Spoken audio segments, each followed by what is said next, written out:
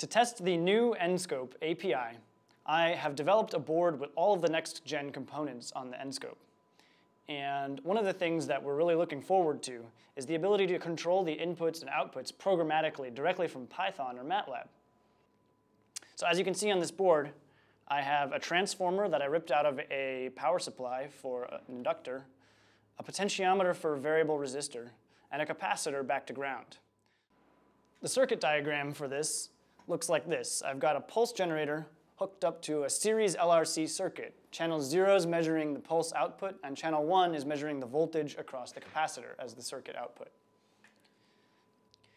What I'm going to do is measure one second of data with a 200 millisecond pulse to measure the step response of the system. We can see that when we run the Python test pulse, um, the data spits across the screen and we get the output of the circuit. The green channel is the voltage across the capacitor, which shows a very underdamped system. We just increase the series resistance by changing the potentiometer. We can see that the system becomes much more critically damped.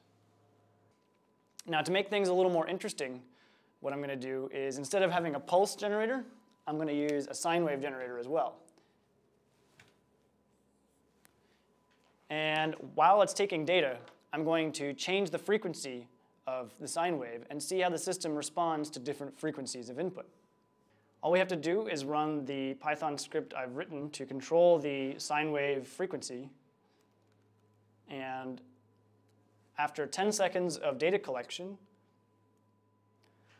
we see a nice even amplitude input and an output amplitude that peaks at around the system resonance of about 40 hertz.